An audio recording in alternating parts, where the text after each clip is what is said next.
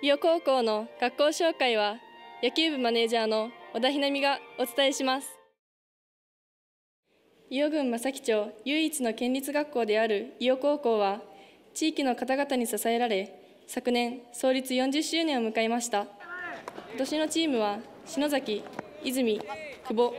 マネージャー小田の3年生4名が中心になって伊予高野球部を盛り上げます。仲間と共に積み重ねる一つ一つのアウト一本一本のヒット一度一度の勝利が野球部を成長させてくれていることを実感しています。一つ一つのプレーを大切にして全員野球で目標のベスト8を目指します。